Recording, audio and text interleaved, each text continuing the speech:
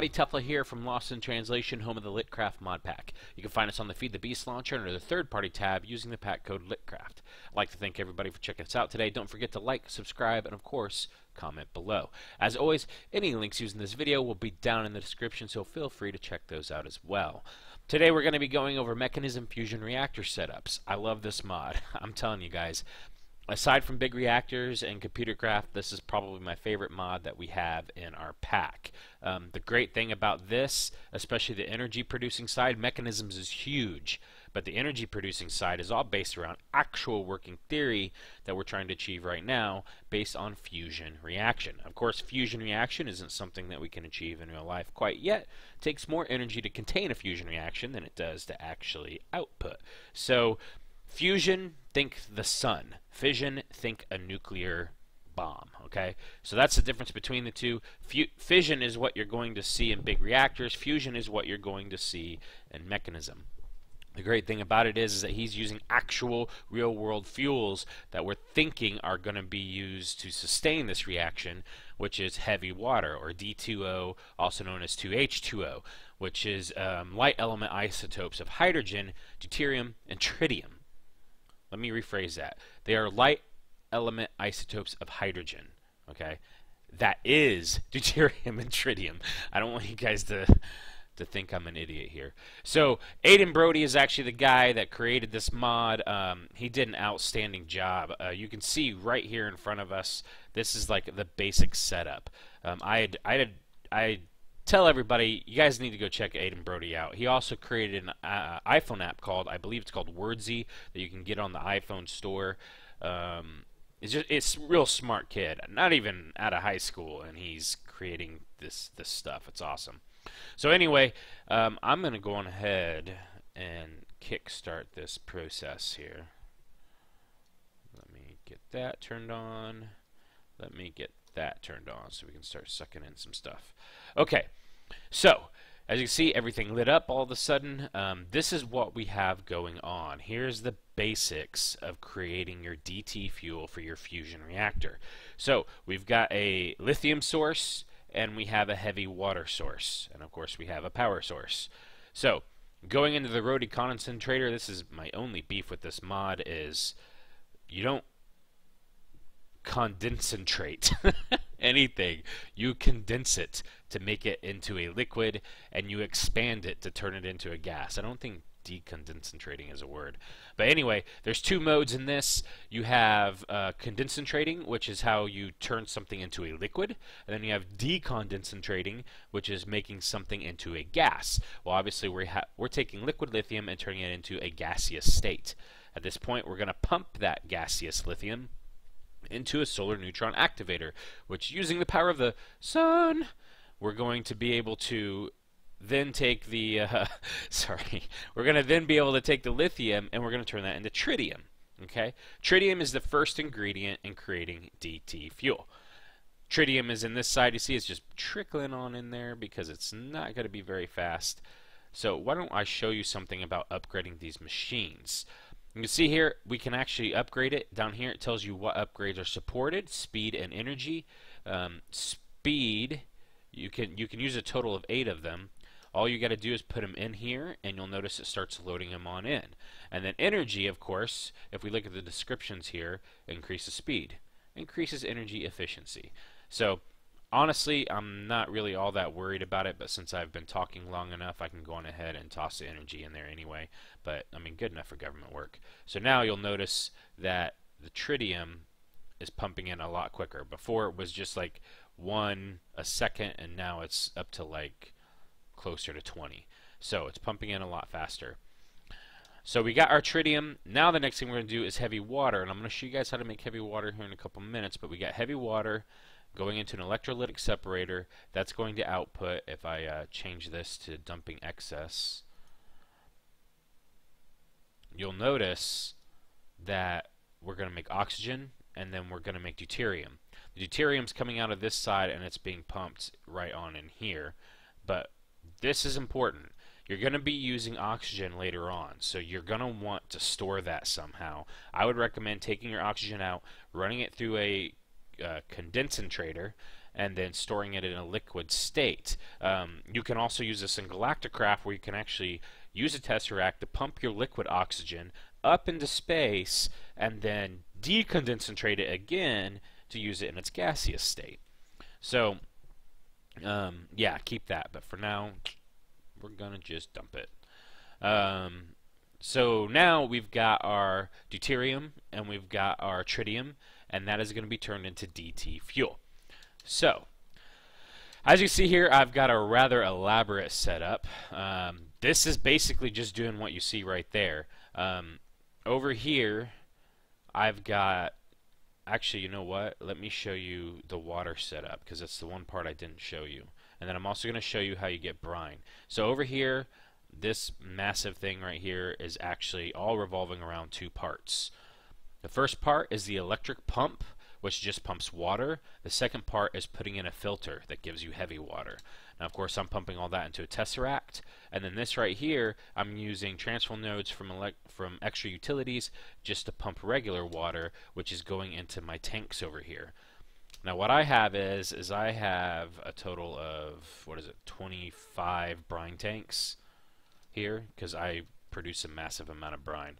Um, what you're doing is you're taking water in, and then you're using the so solar evaporator controller um, and depending on the biome is going to depend your multiplier. I'm that's why I built this in an all-day world from RF Tools using a desert biome to give me the 2x multiplier because this thing will cool down overnight if it's not day so you'll stop producing you'll use the same tower to produce both brine and lithium so this is taking brine right and then I'm storing it over there in its liquid form to give me a buffer and then these five towers on the opposite side, these are brine towers as well. These five towers here produce my lithium. You see it's full of brine, outputting lithium. Well, right now it's not outputting anything because I'm not using lithium at the moment because I'm full of DT fuel. And then this is my lithium. You can see, like I said before, I'm storing oxygen here. Here's where I'm going to put hydrogen chloride, and here's where I'm going to put sulfuric acid. In the next tutorial, I'm going to be going over 5XOR generation. That'll become more important then. So you can see right here, I've got my my uh, tritium stored. Here I've got my deuterium stored, and here I've got some DT fuel stored. The DT fuel is just so that if I want to use it directly. Uh, before we leave here, though, I'm going to show you this. I'm taking that tritium, or taking the deuterium, just like you saw over there, and pumping it on in to create my DT fuel. Right there. See, it's being combined. So that's how you do that. And while we're here, we're going to go on ahead and grab an empty hohlraum, because we're going to need that. And we're going to stick it right here in the, chem the chemical infuser, and it's going to charge it for us, because we're actually going to need this in a few. So, on to the, the cool part. We're now going to actually create our fusion reactor. Um, this is my home world. Um, it's kind of it's like a moon is basically how I designed it. But basically what we're going to do is we're going to take our fusion reactor and at some point we'll do a tutorial on this as well. This is a Draconic Evolution battery. You can see that this thing holds uh, 2.14 tera RF. So this is where we're going to be storing everything. I'm going to come on over here. This is going to be, it's kind of barren here because we just started the server up and I haven't had an opportunity to make all the tutorial things that I'm going to be making. So this right here, this setup is how we're going to charge our initial reaction. Um, I have a lever on here. This is what turns the lasers on and off. As you can see, the lasers turn on. If I flick it, the lasers turn off. And then basically, we're focusing all of these lasers into one single amplifier, and this stores our energy. And then that's on a lever. I'm not going to flick that. It takes a little bit of time. But basically what we need is a lot of energy to kickstart this initial reaction. So how do we build our reactor? Pretty simple. Check this out. So basically we're going to make a pattern that looks kind of like a star just like this. Now you see this pattern on all six sides you have to have this pattern and it has to be this material, this reactor frame. Now, the middle cross, you can put whatever you want. For us, we're actually going to put two reactor ports. These reactor ports can handle both gas and energy. This is going to take in our uh, tritium. This is going to take in our deuterium. And this port is going to outport our energy. Or export, sorry. And then I'm going to toss in some glass. Just because I like to see what's going on up here. Now, here I'm going to go on ahead and create my cross frame section. I like to make the cross frame out of glass. This is the internal part of your frame. And you'll notice that I'm leaving plenty of room along the outsides to make my um, to make my central point. This is where the actual laser focus is going to go. We'll go over that here in a second. And now I'm going to fill the frame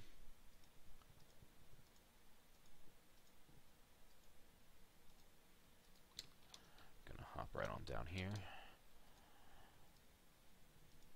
Do this. As you can see, the outward facing part is all frame. That's so you can contain everything. It has to be frame. You, these blocks on the outside cannot be made of anything but frame. So, now we've got that done. And this part I'm going to just put glass. And we're going to stick our frame in here and we're pretty much done. So before I toss the reactor controller in here, I'm going to explain a couple things. So like I said before, I've got my ports down there. There are other ports that come with this, like logic uh, ports and whatnot, but I'm not going to be using that right now. So we've got that, and then here we've got our laser focus matrix. That is where the laser gets shot into here, creating our reaction. Now, you're going to see this thing pop red. That means that it is complete. If you click on the controller, you can see that it is formed. If we get rid of something, you'll see it is incomplete. So, that's a little cue to let you know that this is working. And here, we're going to toss our charged hohlraum. This is, see there's a little hole there. That laser is going to shoot into the hole and, oh, I just noticed that. Isn't that gorgeous? I'll tell you what, man. This is some beautiful stuff. Uh, Minecraft is. Uh, if, in case if anybody wants to know, the reason why everything is circular except for that because it's not in the texture pack, I'm using a texture pack called uh, Life HD. Um, I'll put a link to that below. But so if you want to know why my stuff looks a little bit different, that's why. So I digress. Back to the controller. So that's going to shoot into the hohlraum. The laser is going to shoot into the hohlraum, and this is going to kickstart our reaction. Now before we do that, I need to connect the fuel. So I'm going to grab myself a pressurized tube. I'm going to connect the fuels. You can see right now it's pumping it in. And then I'm going to connect my power output. It's going to the battery. And you can see now there's no heat. This is this is what is going to start heating up once we do actually shoot the laser in and then you can see deuterium is ready to go. I'm going to set my injection rate to 2 because that is the minimum injection rate is 2. So I'm going to set my injection rate to 2, hit enter, I'm now at 2. This is going to set us up with uh, 500 kilojoules per tick is going to be coming in. So, looking at that, sorry I had to change my channel real quick in TeamSpeak so nobody would pop in and interrupt us. So, right now what I'm going to do is, is I'm going to shoot this laser into there. Final check. Fuel check. Output check hohlraum check. Let's set the time to day check. so we can see everything. Actually, you know what? For this part, uh, so you can see the glowing stuff on the inside. Uh, we got our controller, and we got our hohlraum, and we have our fuel injection rate set. So we are good to go. So all we need to do now is flip the switch, Pay attention to that hole and watch what happens inside. Laser shoots, and bam! Lights up like a tree. We're going to go on ahead and I'm going to flip this on and turn on my tesseract so I can start charging this up again. If we look up here, you'll see the lasers are going in and this is starting to store gigajoules. So, here we go. That's it, guys. We got our fusion reactor set up. We're producing energy. If we take a quick look, that setup that I had out there, the reason why it's so big is because I have to produce a lot of energy in order to keep the RF tools dimensions running that I run for other people. So what I'm going to do is I'm going to go ahead and crank this up to 25. Actually, you know what? I'm going to show you what happens if you crank it up to 99. Um, I'm assuming at some point he's going to build in catastrophic failure. That's not a thing yet. But you can see we're producing almost 25 megajoules per tick. I mean, that's insane. So we're going to drop this down to 25, and you'll notice now we're producing 6.25. If we look at our heat output, you can see how what our plasma, our case temperature is, and this is where our uh, storage buffer is at. It's going to slowly climb as it's transmitting over there to the battery. So let's hop on over to the battery and we'll verify that we are in fact outputting some power.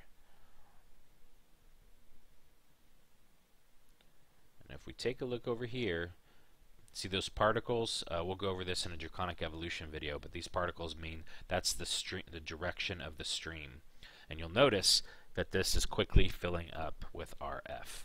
So, there you go. That's it, guys. Uh, Draconic Evolution battery.